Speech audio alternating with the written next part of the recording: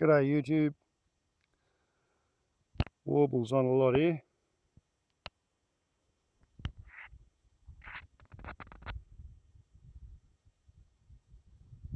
Three of us put in two days and I've put in a couple of more hours. I'm not measuring from the absolute outside of the rock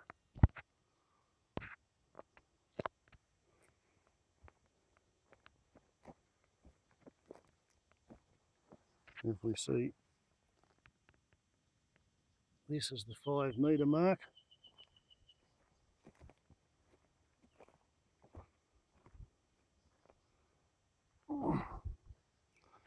Well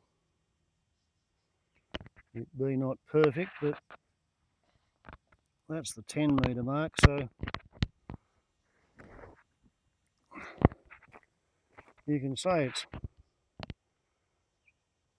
more or less 10 metres in in that aspect. If we pick that up and straighten the line, oh look at that. Exactly. Mickey Mouse.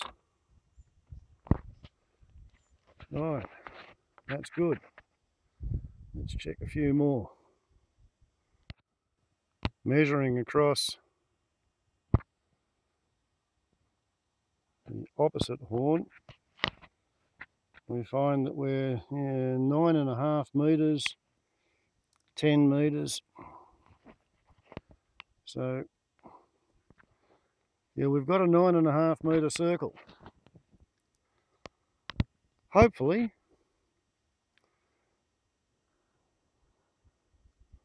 it'll be big enough for a six metre yurt. Okay, so from there,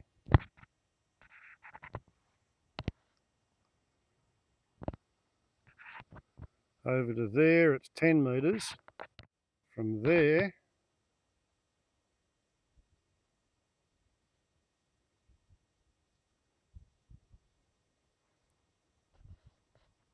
to there, it's nine and a half metres.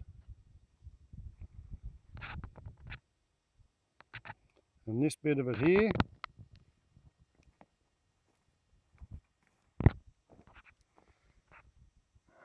Sad to say that's nine meters.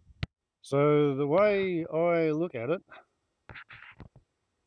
I basically I need to get this section of the wall here and I need to just sort of nudge it and bring it over to about here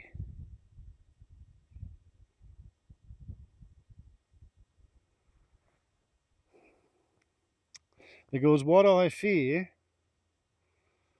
is if I don't do that, get it to line up with this, which comes more or less to there.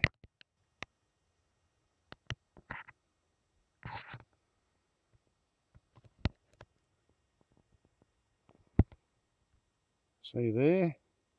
That's pretty much, if that's that that's where the top of that wall is, should cross the gap here and the top of the wall should be here.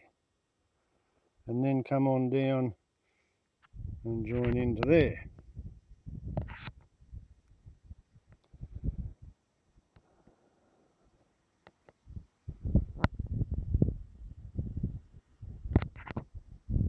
Because the inner wall there it comes along and it should be there and this here should be the inner wall and what I'm worried about if, if, if that doesn't come good is we'll stick the yurt on there and then we'll go to try and put its tent rope anchors into the pad and we're going to find ourselves running into the rock wall with the tent anchors or coming over here and having to try and put them down here.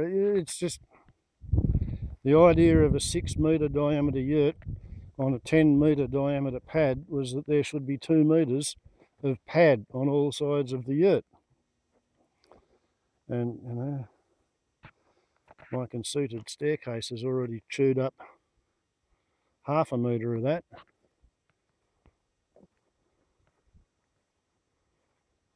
So I'm just trying to work up the motivation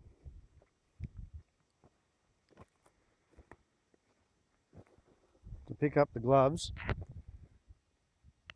and go over and start moving a wall. Such is life, Ned Kelly. Said it, such is life. Okay, well I don't know whether this will work worth a damn.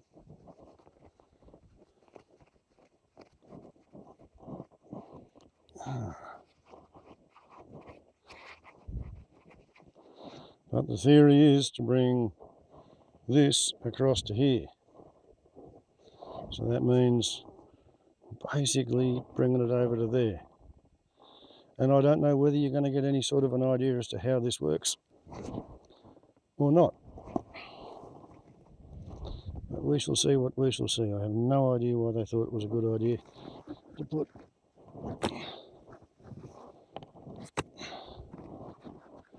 a log in there, but anyway.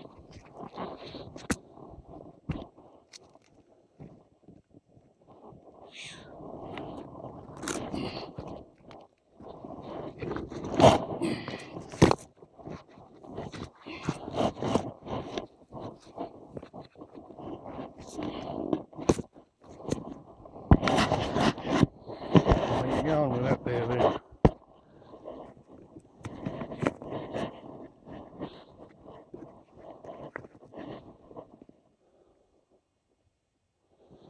Right.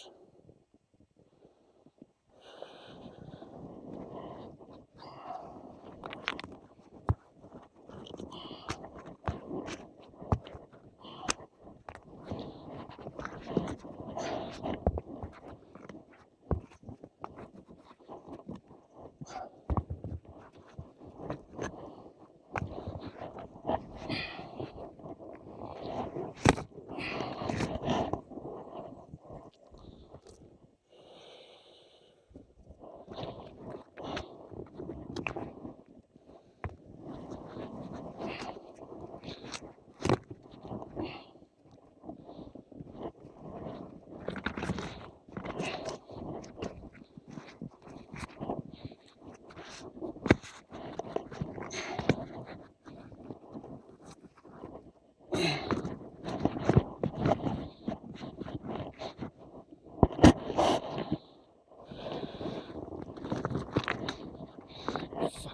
look at that.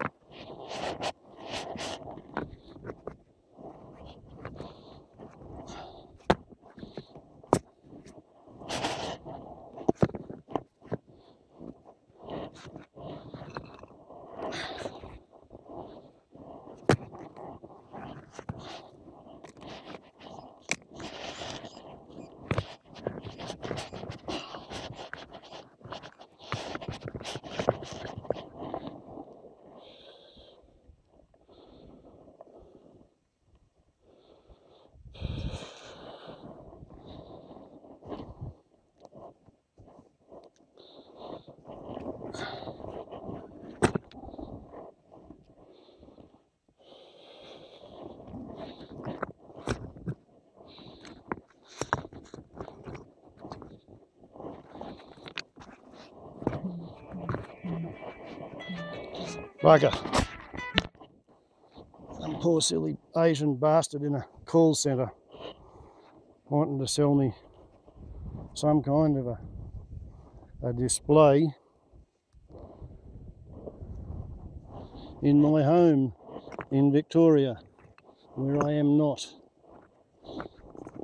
Somewhere in Victoria there is a person whose name is Lauren and Lauren